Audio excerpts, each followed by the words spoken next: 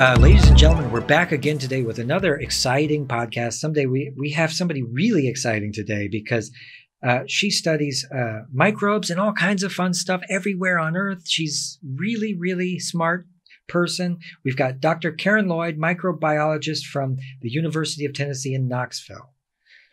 Hi, Karen. Hi. Thanks for having me on. she's not quite professor, but she's going to be maybe an associate professor soon.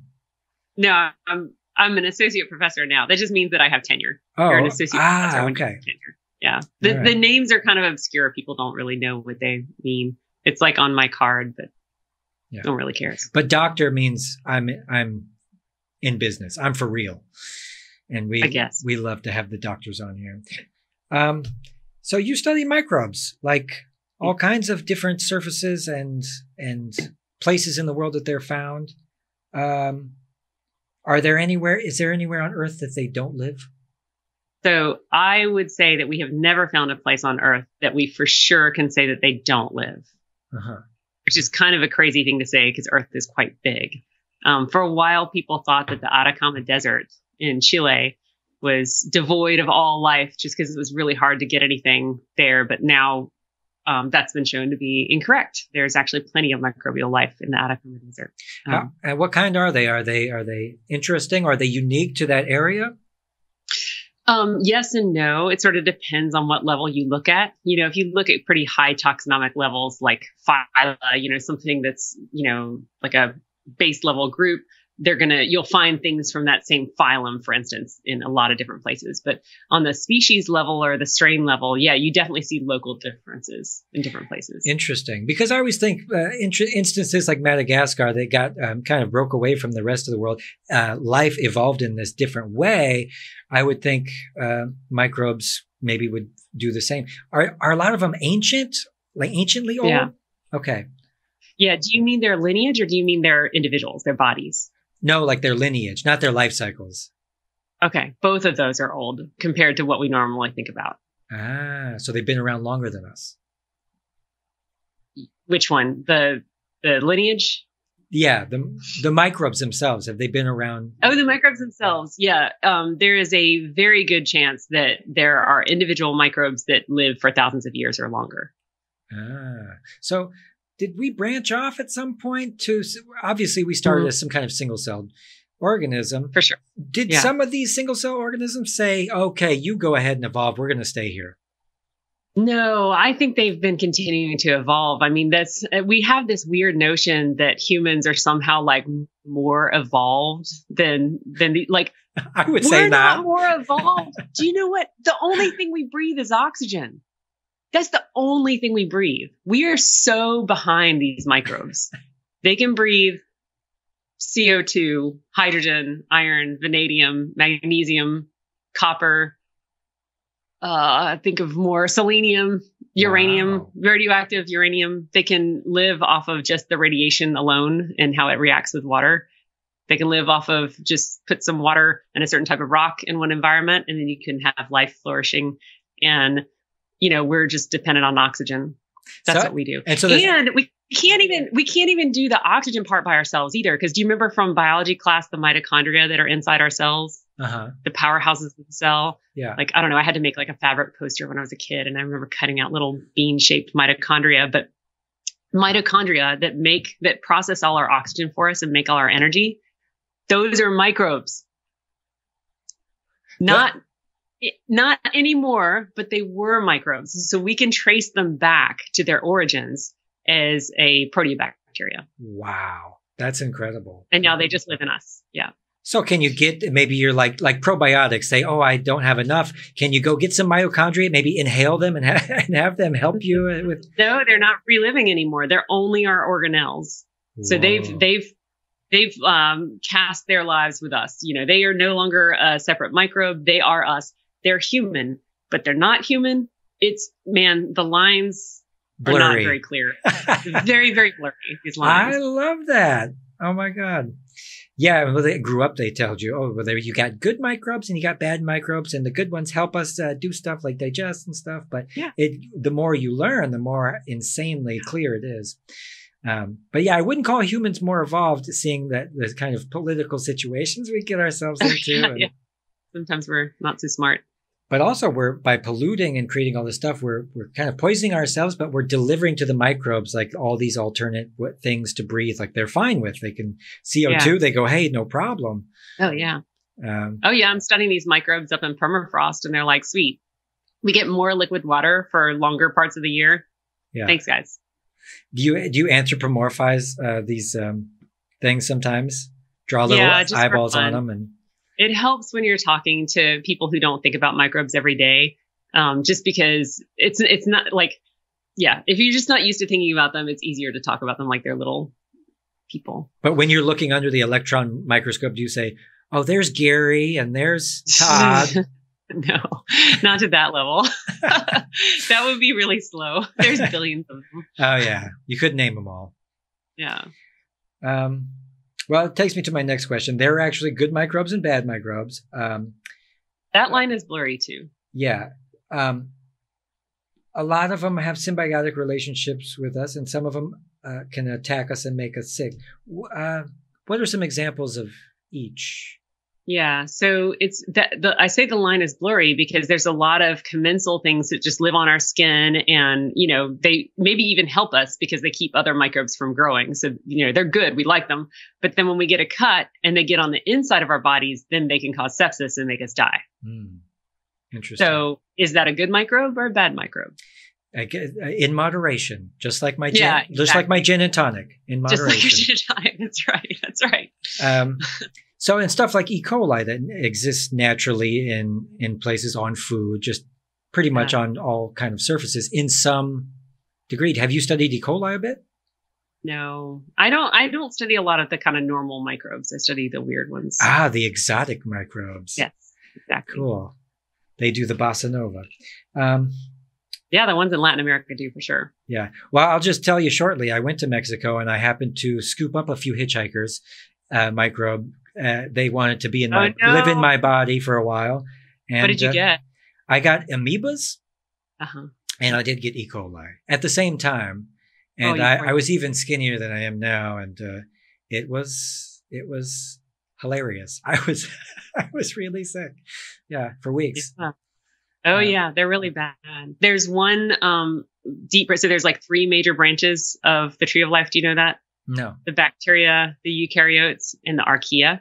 Okay, So archaea and bacteria are what we think of as microbes usually. Although one of the ones that you just got, amoebic dysentery, is actually a eukaryote. So that's our branch. We're the eukaryotes with the like well-defined organelles and all that stuff. Um, But so you, you were attacked by a bacterium and a eukaryote, but you were not attacked. I can guarantee you, you were not attacked by that third branch of life because, as far as we know, and this is still kind of a big mystery, there are no pathogens, no human pathogens in that entire branch. A third of the whole tree of life just doesn't take advantage of us at all. and what They're does, what do they include? Is there wh- wh- who's in that group? methanogens. So, like all of the methane producing microbes that we talk about, you know, we talk about cows that make methane. So Uh-huh. they make methane because there are these archaea that live inside their gut and make methane. ah, and So, so they're actually quite normal microbes. and if we ingest on accident some of these microbes, we're fine. They just come in and out. Oh, you already have them. Yeah, we Ah. almost always So they're part of our team. Uh, well, like I said, it's blurry. Allies. You know, a lot of the things that allies. I mean, every almost any bacterium that lives in your body and doesn't hurt you could hurt you if it gets in the wrong place, Okay, all right. but not the sounds right. archaea. Same with water. archaea will do it. Same with Hmm? water. If you if water's good for you, you drink too much, you could be in a lot of trouble. Right. That's Um, right. I like talking to you. You're so much fun. Um, Ah, uh, so with all the stuff that you could possibly study, there's saw elephants and all these wonderful things on Earth. Uh, what led you to study these unsung microscopic heroes, these microbes? I just am. I love the idea that they're like hidden in plain sight. They're everywhere all the time, doing all these crazy things, and they just like I don't know. They're so cool. They kind of don't care about us per se, Mhm. and they just kind of do their own thing. So they're powerful. I like them because they're powerful. What, what was the first time that you um, that you came to this conclusion? Did you see a documentary as a kid, or you thought, well, there's a whole world down there? no, I did a, a summer program for high school students for high school dorks, and um, which I embraced. it was at uh, North Carolina Central University, which is an HBCU in North Carolina. And I just remember um, there was a uh, graduate student, Jeff, and I cannot remember his last name, but he was just um, enamored of microbes and his his excitement about the microbial world was just infectious. I just, you know, you'd listen to him talk about it and say like, "Oh my God, there's this hidden world out there I didn't know about." So that was like when I was 15 or something. I just sort of in the back of my head was like, okay, well, that's that's going to be worth spending my time working on. I noticed that a lot of these things happen early in life, where something just clicks and you go, "Wow, this is important. This is cool, Yeah. and this is important." Yeah. So, are you the type that walks around, uh, or do you do you, do you kind of bring your work home with you? Do you brew your own wine? Do you stuff like that, or do you walk around with hand sanitizer going, "They're everywhere"? Yeah, neither. I don't know. I'm just not a very DIY person, ah, yeah, so I don't I don't ferment things on my own. But not that you know of. yeah, that's true.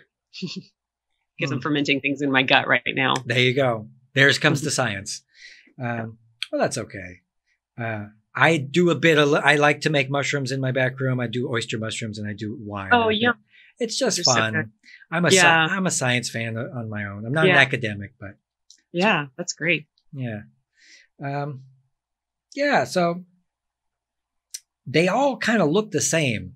If you talk to people that don't know, they they Yeah. they seem like If you can see them at all. Yeah, they all look like boogers uh, moving under the Yeah. microscope. Um, Yeah. Can you tell the difference between stuff like microbes or like bacteria and viruses? Can you explain kind of what the difference is between these? I mean, we can use size to some extent. You know, Okay. viruses are almost always going to be smaller than a bacterium, and a bacterium is almost always going to be smaller than a eukaryote, Hmm. but not always. There's exceptions to that. So you absolutely cannot say that those are rules. There are bacteria that are as big, big enough where a single cell can be seen with your eye.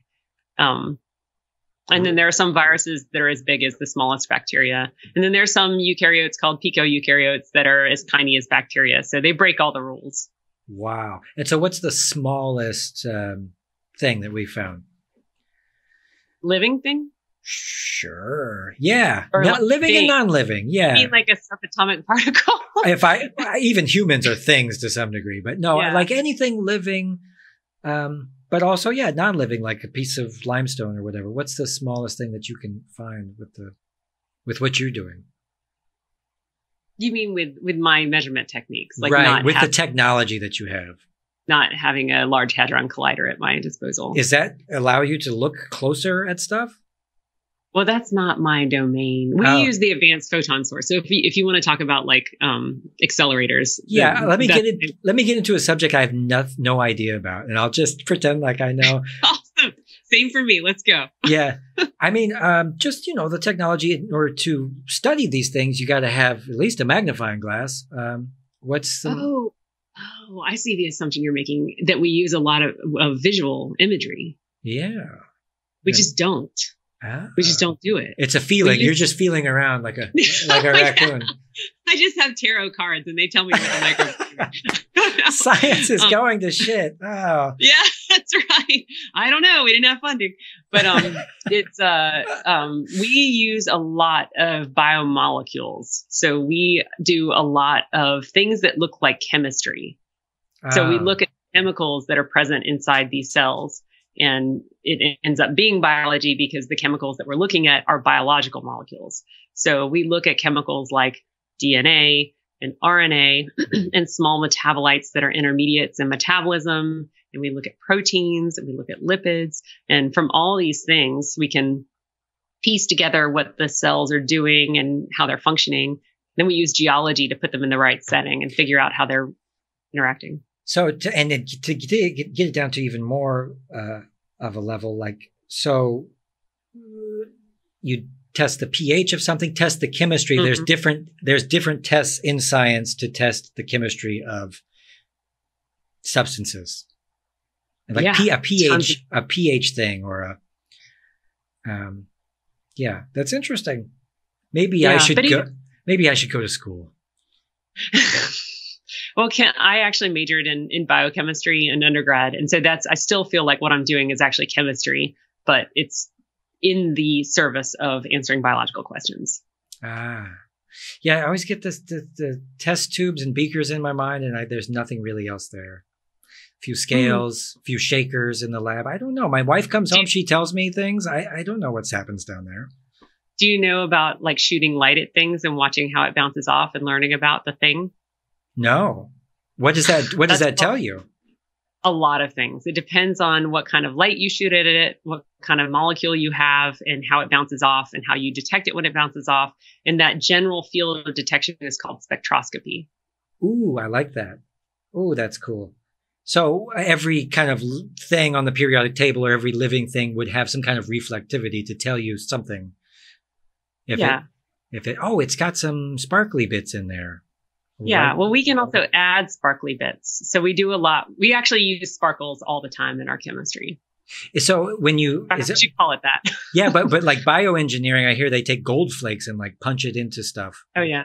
Is that? Yeah. I mean, the gold, oh. often you have to play, you're probably talking about atomic force microscopy. I don't know. That's sure. kind of great. Okay. yeah. yeah, totally. But I mean, there's, I mean, it's kind of like it's just such a general question. Like, how do you use chemical techniques to detect things? It's ridiculous. yeah, it's ridiculous.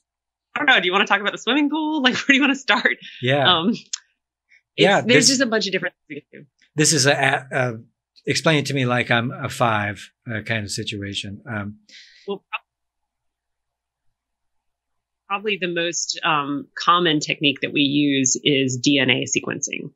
So mm just like looking at the sequence of DNA, which, you know, there's four bases of DNA, A, G, C, and T.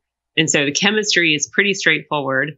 And we have a lot of enzymes that can make copies of it. And as they make copies, we can add, you know, the sparkly ones or not. So we can add fluorescent nucleotides. And then that can tell us basically we can use a, a light detector to say, okay, this nucleotide has been added. Next one's an A, next one's an A, next one's an A. Now we've got a G, now a T, now a C. And we can do this over billions and billions of base pairs. And then we get, um, you know, just these massive files and then we can process them and find out what kind of DNA these guys have. So as far as DNA, like you said, it has a certain amount of sequences, like the humans have a certain amount. Uh, do they differ a lot between microbes and animals and people and mushrooms and stuff like that? It, it depends on what part of the genome you're looking at. So there are parts. So if you imagine all, all, of our genomes as a circle, which is an approximation, but let's just do that for the sake of argument. Um, then you can imagine like little like sections of it that are the same between or similar enough that you could tell that they originally came from the same thing hmm. between us and mushrooms and chimpanzees and bacteria and viruses and all these all these guys. So you can you can see that we all came from the same stuff. Actually, viruses not always but definitely the archaea and the bacteria. And then the parts in between that are more the the parts that make us us. Interesting and they're different. So we have a lot of similar building blocks and everything just in a different ratio. Exactly. In different orders. I'm not so stupid after all yeah. No you got it. You got it. All right um so we all get hungry sometimes need a little fuel in our tank. Um, do microbes eat stuff? And do yeah. they leave behind what they call a, a byproduct? Yeah, everything needs to eat and everything makes waste. So we haven't discovered a thing that does not do that yet. Um, and then saying what they eat and what they produce is just, um, it's a whole lot of things, many, many different things.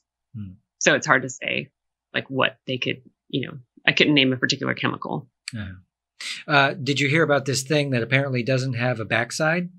It's the the uh, it doesn't make uh, well apparently it doesn't have a, a butthole, uh, but it's a it's a microbe that doesn't um, it's I don't know look it up I know I just heard it on Science Friday, um, thought it was interesting, oh. but apparently it's the was only. Thank you for it. She's just on there. Could have been. It could have been. I yeah. don't know. Yeah. Uh, but yeah, for everybody listening, just go look it up and let me know if I'm right. Wait, um, can we go back to this? Do you know more about this um, anus free microbe? Well, I think it was. Um, Because none actually have anuses. I don't know if it was the size of a tardigrade or whatever, but it was um, a living thing. Obviously, it wasn't an animal or anything. It was it was mm-hmm. microscopic, is what I understood. Mm-hmm. mm-hmm. and it didn't. What the lady says is it didn't have a, a butthole, basically, or didn't have a, a thing to do, and so they couldn't figure out how it excreted waste. Mm. Does that sound familiar at all? Yeah, I mean, it sounds too familiar. Like no microbe would have that, and microscopic.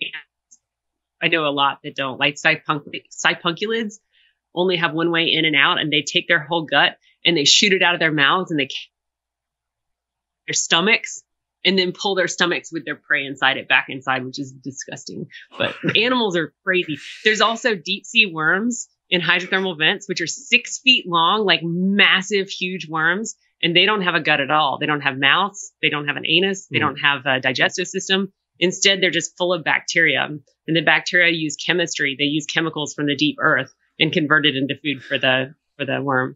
But but but they all excrete, do they not? They always have to make something. So often it's like carbon dioxide is like a common um, product that you excrete. There's some chemical you produce. Dang. Well, we've got to tell them to stop because we don't need any more of those CO2. Hold off. Plenty. Microbes ruining the world. Some of them are. Yeah. Uh, are there? Are there really some? I mean, they're not, like I said, they don't care, right? So, mm. you know, some of them make greenhouse gases, some of them take them up. Will we see an influx with climate change? Will we see an influx of weird new patches of microbes?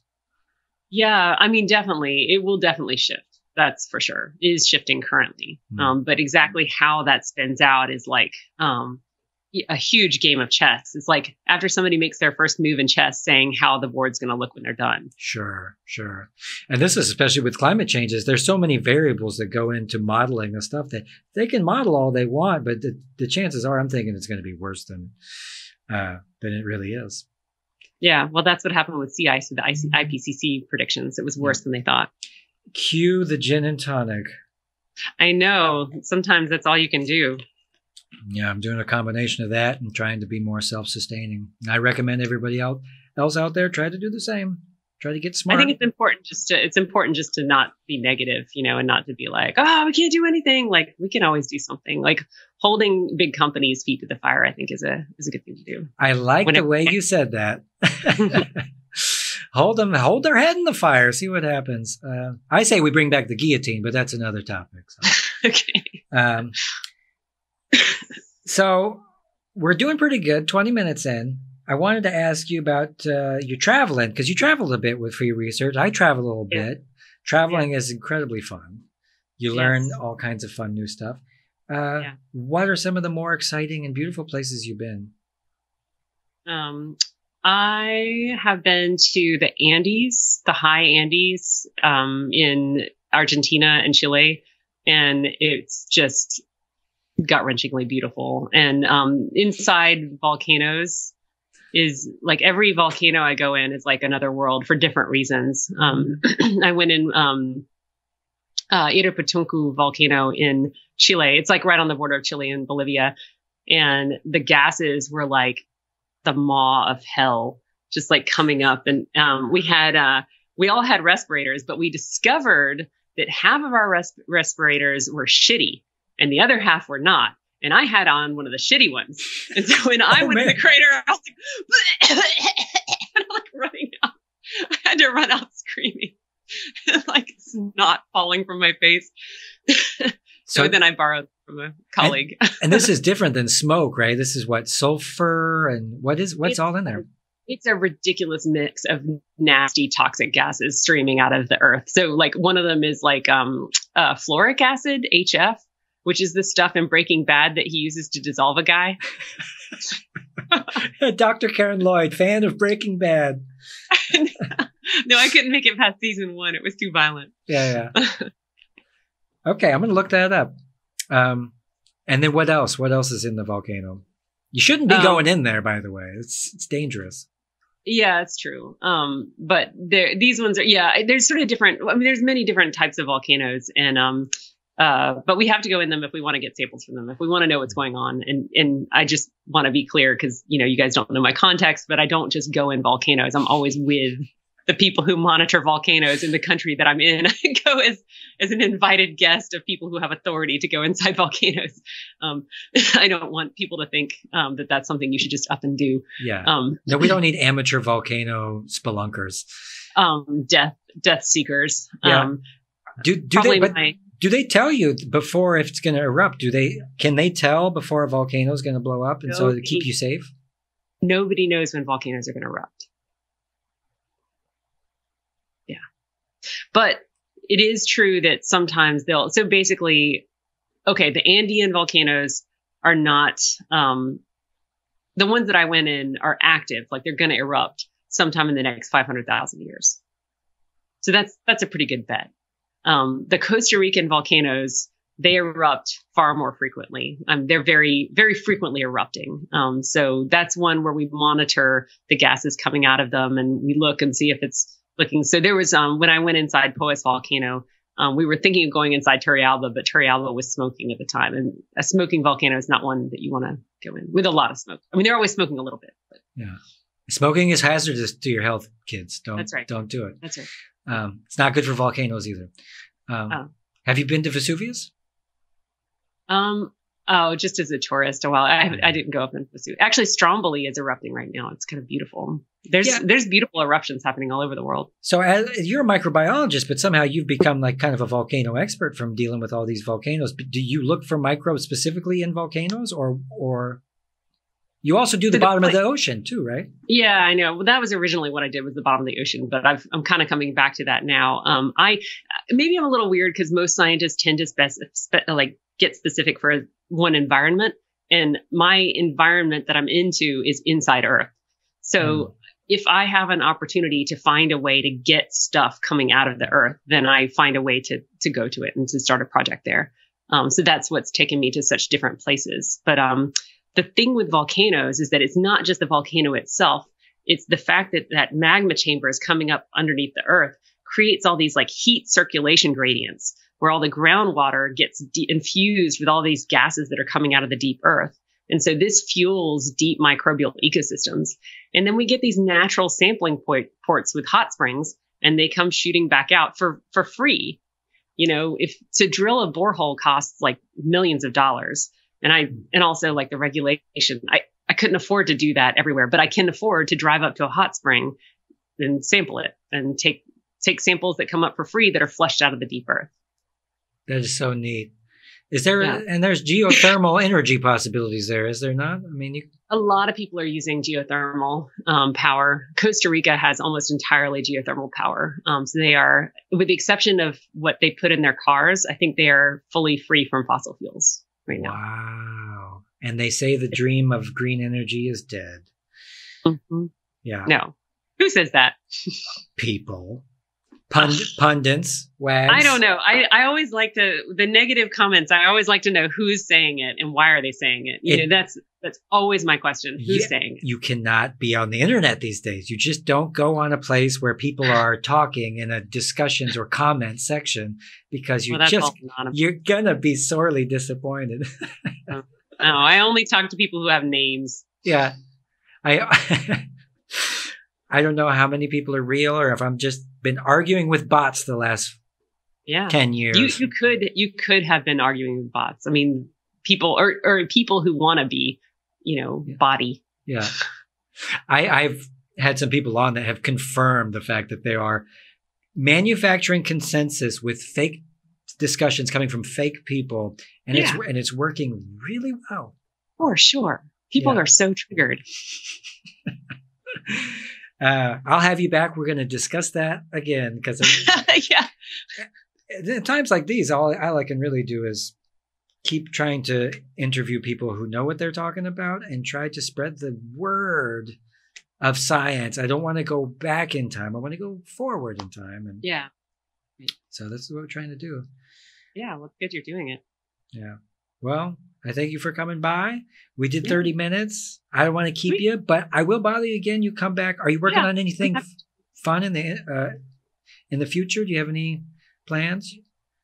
Yeah, I'm headed to probably Argentina in February to go yet again and get nosebleeds up in the Andes and suck on oxygen bottles and try to sample these volcanoes um, in a separate section. Where do you fly into? Uh, that's future me. I don't know. Somewhere uh, in the south, no, like not my department. No. Um, yeah, yeah, that, that's going to be fun. That high altitude will get you. I know. Yeah, it's a mess yeah. yeah, make you crazy. But I'm happy to chat with you again. This has been super fun. Yeah, I'll try to make it easy, relatively painless. Yeah. All right. We'll wave goodbye to everybody at home. Goodbye.